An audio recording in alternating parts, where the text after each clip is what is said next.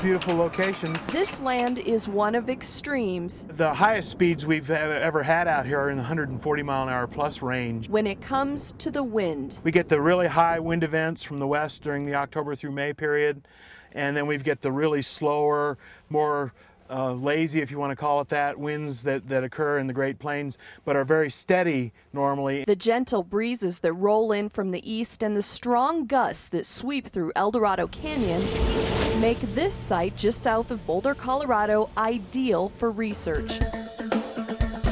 Two over here, two here. Engineers with the National Renewable Energy Laboratory, NREL, my name is Jim Johnson, work in the shadows of these often massive machines. This is um, about an 80 foot tall tower. They believe the answer to many of our country's energy and environmental concerns is literally blowing in the wind. Right now, wind is in high demand. The goal is to really make wind generated electricity kind of the cheapest form of energy on the planet. Robert Thresher leads NREL's National Wind Technology Center about 20 miles north of NREL's main campus. He says wind power makes up less than 1% of the electricity in the United States. His team is working with wind turbine developers to change that. The wind could supply up to 20% of the nation's electrical needs. It'll take machines that perform better, last longer, and cost less. 20 years ago, uh, wind generated electricity cost about 40 cents a kilowatt hour, whereas today it costs from about 5 to 8 cents a kilowatt hour, depending on the site you're at. The goal is about 3 cents a kilowatt hour. The National Renewable Energy Laboratory is rising to the challenge, designing and testing wind turbines of all sizes. I happen to think they're beautiful. Engineers evaluate everything from the smaller residential wind machines to utility scale turbines that truly tower over the land. Diameters that are large enough to fly a 747 through with 40 feet of extra space on either side of the diameter to make sure they stand the test of time. It has to operate pretty flawlessly for about 20 years. It doesn't take decades to assess the reliability of these machines. Here, the lifespan of a turbine is tested in months. This is what we call the industrial user facility. It's designed to be able to do wind turbine blade testing. Engineers bend the blades. The tip is nearly touching the floor and almost touching the ceiling when it's deflecting even break them both inside and sometimes partially outside this building. You're only seeing about the first 30 meters of it because the other 15 or 20 meters is outside the building.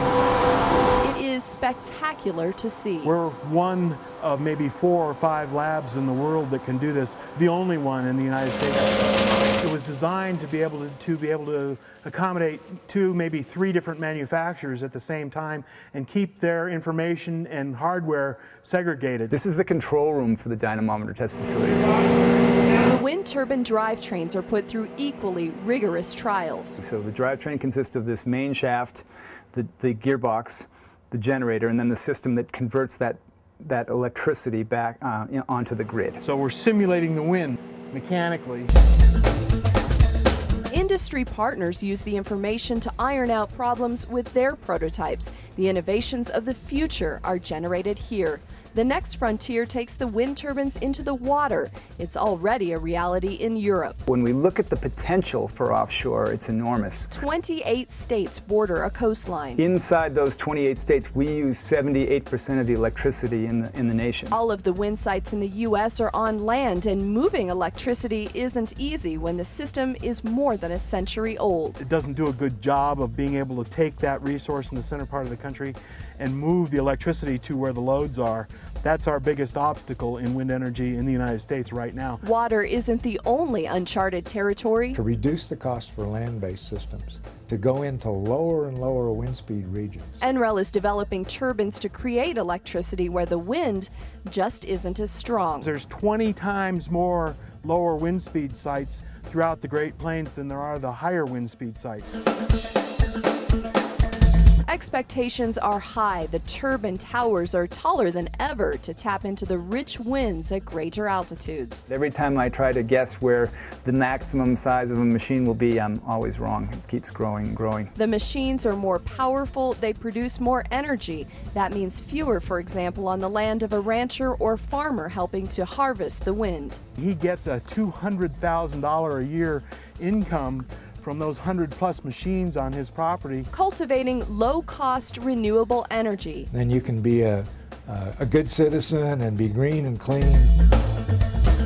NREL's National Wind Technology Center is pioneering the field to harness the power of nature. It's really a great challenge, it's been a great challenge, and it's a great joy to see it going out and being used.